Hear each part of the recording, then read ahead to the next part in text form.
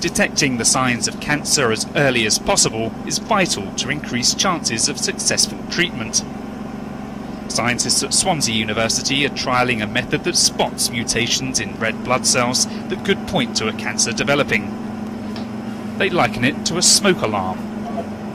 It doesn't detect the fire, it detects the presence of smoke, the byproduct, the collateral damage that comes with the fire. And equally, in this blood test, we don't measure the presence of cancer, we measure the presence of mutated red blood cells, which are the collateral damage that occur as a byproduct of the cancer developing. Using a standard analytical machine, they've optimized it to look specifically for mutations in millions of red blood cells. These mutant cells lack a specific surface protein that healthy cells normally have.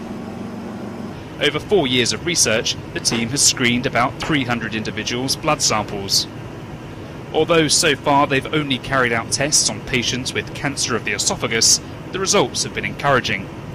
There seems to be a, an increase in the, the numbers of mutant cells between healthy volunteer and a cancer patient, which is as much as an order of magnitude. So from five mutants per million up to around 40 or 50 mutants per million.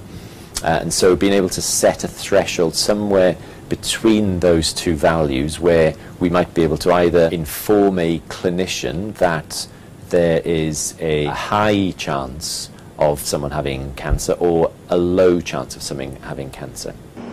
Much more research is needed before a test like this could be viable.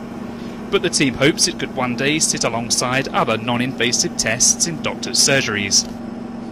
Similar liquid biopsies, which offer a non-invasive alternative to standard tissue biopsies, are in development around the world.